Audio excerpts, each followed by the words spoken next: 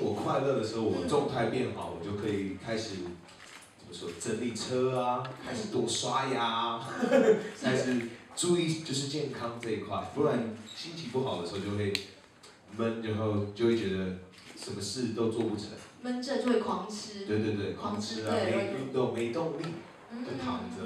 好，那这次发了第三张专辑，Friends，对，主要是就是想说跟就是要用音乐跟大家交朋友。嗯。那要不要今天大家讲一讲这整个专辑的这个筹备过程？好啊好，呃，Friends 这个关这个概念是来自我跟我的歌迷一起合作，啊，在这张专辑里面，呃，应该是说我一开始在寻找我跟歌迷之间的那个定义是什么啊，一开始。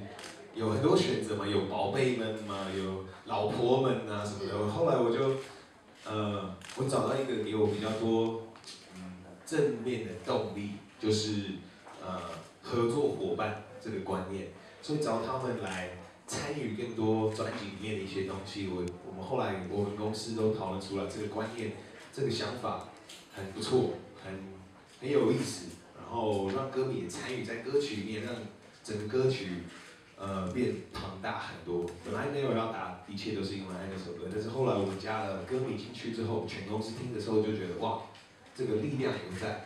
所以因为好不好听已经太主观嘛，所以我们要想留一点意思在，对，留个故事，我们一起的一个过程，不是我一个人在那边录音室录，是我跟歌迷在透过网络，透过很多的方法，全国，呃。全界、全世界一起有一堆影片跟他们的参与，我让我觉得蛮蛮感动。嗯嗯。这次很很好玩，宣传真的很好玩。那我们知道说专辑这一次呃怎么讲？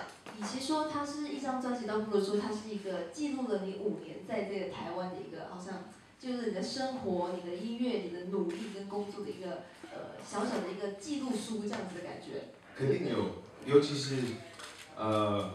我自己创作了那两首、那三首歌，终于公司有感受到一个真的故事。之前好像是经过太多设计，我想说，哎，我要 show off 我对音乐的什么有的没有的。但是这次就是真的很诚恳，从我的经验写下，从我听过的音乐、感受过的情绪，什么自己的故事，然后自然的发泄在音乐里面，然后他们就是不顾一切。